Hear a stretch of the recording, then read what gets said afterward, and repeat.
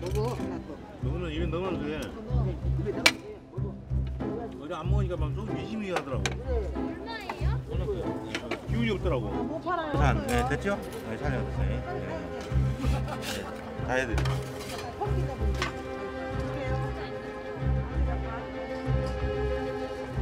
결국에 우선 주세요.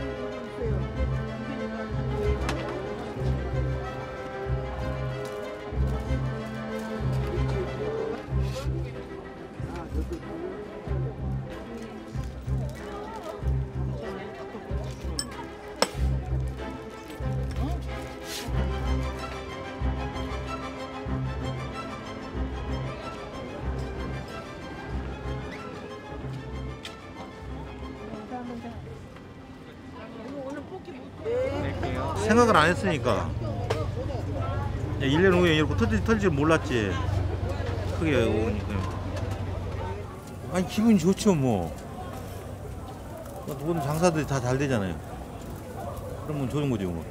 나, 나라에도 많이 알려졌고, 우리 한국인 나라는 이 뽑기라는 게 있다는 게. 그죠? 설탕 뽑기.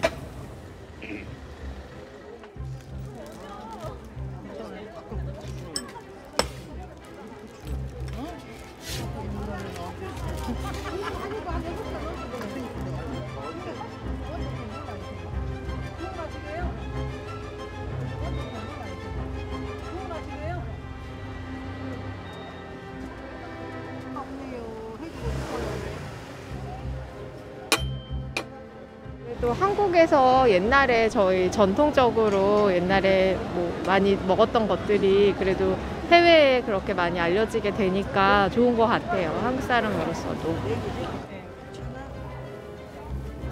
네, 그럼요. 만들어서도 많이 먹어봤는데 어, 이제 안 만든 지 좀 오래됐었는데 오징어 게임 때문에 아무래도 네, 먹어보고 싶어가지고 뽑기 하고 싶은 마음이 많이 커져가지고 네.